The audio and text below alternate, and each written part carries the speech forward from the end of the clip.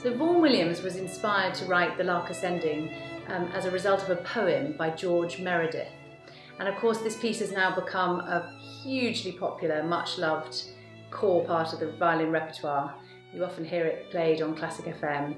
And of course now the piece itself is more famous than the poem which inspired it.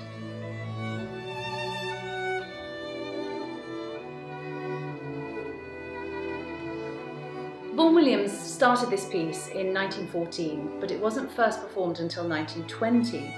So maybe the context of this music isn't just the English countryside and birds singing, but in fact um, the First World War. And you hear that in the lamenting quality of the music, um, a lost generation perhaps.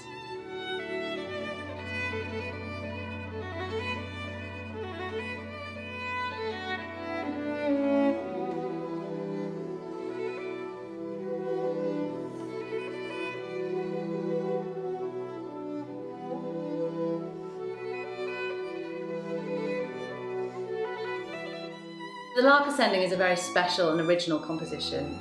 The violinist gets to play this beautiful cadenza at the, both the opening and the end of the piece, where one can be totally free and I think it has to sound improvisatory. And of course the violin represents the lark climbing up into the stratosphere uh, in hopefully a very beautiful way. And it's terribly exposed, so it is it's quite a lonely piece to perform. Um, there's nowhere to hide at all. Um, but that's I think that's part of what makes it so special and unique. And then when the orchestra eventually comes in, or in this instance it's going to be a, a string section, um, uh, you know suddenly that sound that sounds so rich compared to the very stark, bare sound of a solo violin.